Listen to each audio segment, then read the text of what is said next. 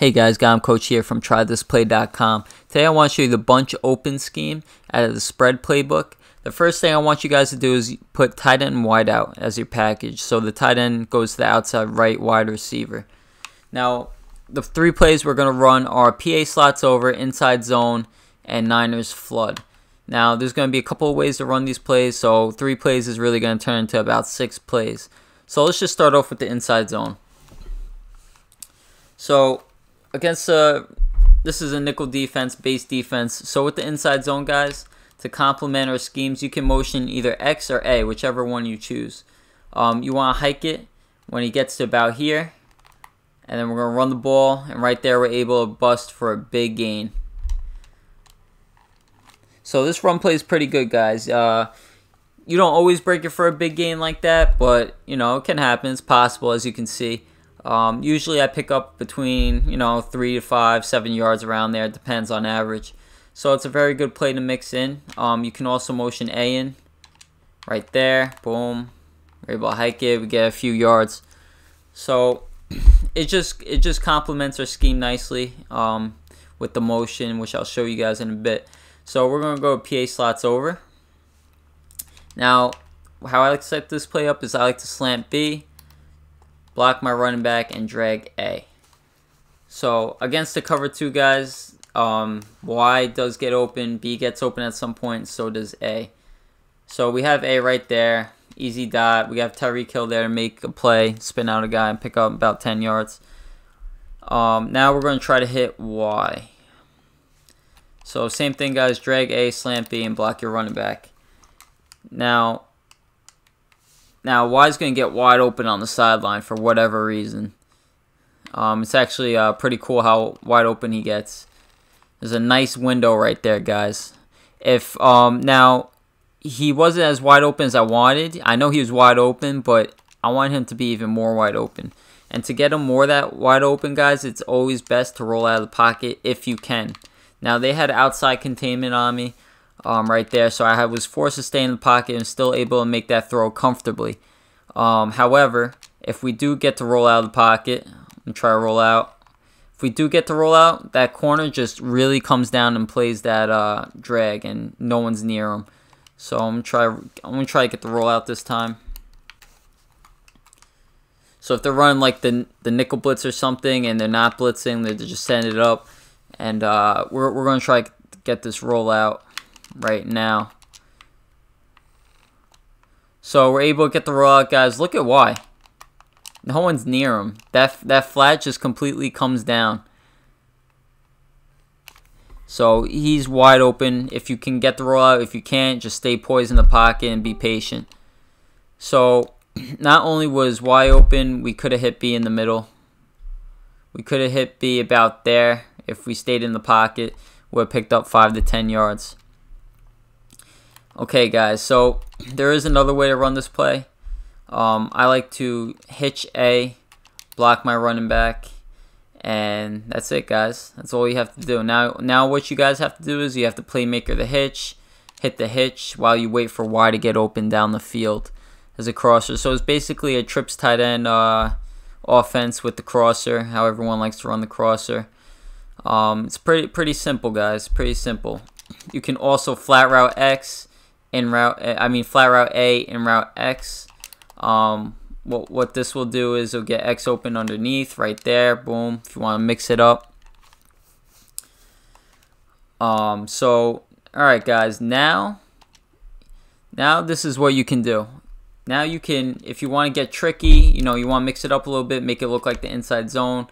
You can uh, motion, drag A, motion them right and hike it when he gets to about there. When they see the motion, they're going to be thinking they're playing inside zone. So, you know, you can keep messing with them with the motion. You don't always have to keep that guy there on that play. So, guys, you you guys don't always have to um, motion him over and send him out. You can motion him you can motion him and block him and seal that outside. So I would in route X, block my running back. You can slant B again, motion A over, have him block though. Motion him over to block. And that's going to help seal the edge and Y is going to be wide open on the sideline. So this is just there's so much you can do with the motion in this formation. Um, make it look like the inside zone. You know, you know, there's so much you can do. So um, moving on to Niners flood, uh, I like to fade Y, smoke screen X, and I want drag B. B's going to be your tight end, so he might be a little bit slower. That's why I like to put him on a drag rather than an in in route. Take a little bit longer to develop. So he's going to get open in the middle of the field. Now we know they're in the cover two. The clouds aren't going to play that smoke screen, and we're able to catch it for a couple of yards. Um, if you hit the spin, you can definitely break it for at least 10. Um, so again, guys, they're in clouds. You hit the smoke, and we can wait for a check down coming across the field. So they're in clouds. I can hit the smoke screen, but I got Kelce on the drag over the middle. It's very effective to mix in, guys. Now, if they're in a cover three, if they're in a cover three, it doesn't matter. You can um, you can just run it the same way I told you, but the smoke screen is going to be covered. But this time you're going to have the corner route. And that corner route's kind of sharp, especially when you have Tyreek Hill in the slot. You want your fastest guy in that slot for that corner route. It's just money. Um, so another way to run this play is, guys, you want to fade X, hitch Y, but we're going to make it look like the other plays now. You want to fade B. We're going to motion A over, and this time we're going to send him out on that post. And we're going to have the hitch on the left just in case. So we have the hitch open on the left, able to hit him. And if we wait, we're eventually going to have A on the, on the left sideline. So what I like about this is, guys, it just looks like every other play. They don't know if you're running the boot. They don't know if the, you're running, um, uh, you know, the inside zone with the motion. Like every time they see motion, they're going to be nervous that it's inside zone. So just be mindful of that. We're going to see if we can hit A. You can wait to hit A on the sideline. Um, that's if you have the time, guys. Um, you're not always going to have the time, but if you do have the time, you can definitely hit A. Uh, one more thing, guys. With this PA slot over, I forgot to mention, when you play a cover 2, when you play a cover 2, guys, it doesn't matter. You are going to have X open on the deep sideline. But you want to fade B, block your running back, and you want motion X to the right, drag A. So if you do this, guys, streak Y too, I'm sorry. So if you do this, guys, you should get X open deep, but you need the time. As you can see, guys, the corner comes down to play the drag, and it's an easy dot. Let's do it again. You know what? Let's uh, let's leave him on the drag he's on because I like that angle he's taking for this. So we're going to streak Y and we're going to motion X over once again. And we're going to try to buy ourselves enough time to uh, throw this corner out. As you can see, the corner comes down and we're able to hit them on a dot. But, you know, guys, this is only going to work if you can buy yourself the time. If they're not blitzing you heavy, you know, always go to this. And if they are if they are running nickel blitz, if you're you know if they're running nickel blitz guys, no problem. So we're gonna set up nickel blitz. Um, as you may have noticed in my other videos, um, I explained to you the post concept, the high low with the nickel blitz. They're gonna be using shallow. They're not gonna be using deep. So with this PA slot, um, corner play, PA slot overplay, uh, you want to drag A block your running back, of course, and um, you you want to really and hitch Y. So they're gonna have to choose between YA and the, this post. Now what I would do is guys is I would motion A over to the right, make them play that. I want them away from I want them away from as far away as from the post as possible, and we're gonna be able to hit that post deep over the middle. Now the reason is I want his user running to the right um, when we're actually going to hit him over the top on the post on the left.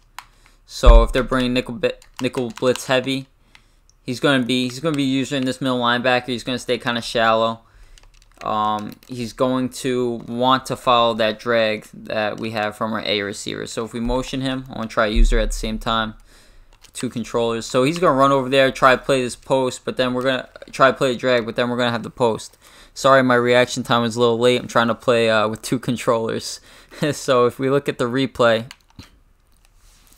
in a real game, Well, one, we have the hitch. One, we have the hitch wide open. Two, um, they they're gonna respect. I'm I'm I'm running back. I know the play's coming, but they're gonna respect that drag a little bit more. And if they don't, if just throw the drag or the hitch. So your first read's gonna be the hitch right off the bat if you can take that, depending on where the user is. Now they're gonna play the drag really aggressive. Now again, I was using I was using one hand trying to play with two controllers, which is very difficult. But you can see if my user wasn't there, he would have been wide open. I mean, more open than he was. He was still wide open. But this is just a great concept to learn when you're playing Nickel Blitz. Alright, guys. So against man-to-man, um, man-to-man, they definitely don't want to play against this formation because everyone just gets open. So, you know, start off with our original setup. We just slant B, drag A. And guys, this is this beats every man in the game. We have A, we have B, we have Y, and we're gonna have X open. So if I show you the replay, guys, man coverage should be the least of your concerns in this formation. So as you can see, everyone gets open. You can feed them all. Everyone eats on this play against man to man. So we have A open, we have B open, and we have Y open at the same time. And if you wait for X, X will eventually pull away, split the safeties. So this play is just great. I'll run it again just to show you guys. This is definitely should be your go-to man beater um, every time. Every time they're a man. I don't care what formation. I don't care if it's cover zero. This should always be your go-to uh, man beating play right here. See, we have B right here. Boom. First down. Uh, let's hit Y now. We'll hit Y. So, same thing, guys. We're going to hit Y now. So, look at Y. Wide open. Wide open, guys. It doesn't get better than this. Literally, everyone gets open. So, that man, don't even worry about man-to-man -man coverage. It's insane. And like I said, if you have Tyreek Hill in that slot, with the Niners flood, if you want to run, if they, if you know, if they play man, just slant B, run it, run it as is and guys, this is money. Uh, th this corner route versus man to man, don't even don't even stress it, guys, because Tyreek Hill is gonna pull away so easily. Look at that. He's just too fast, guys. He he breaks the game. So man to man is is done. It's done. So guys, listen. I think we covered almost everything. Please leave a like, comment, and subscribe to our channel. Please visit trythisplay.com if you're interested in more premium tips and ebooks. Thanks again for watching.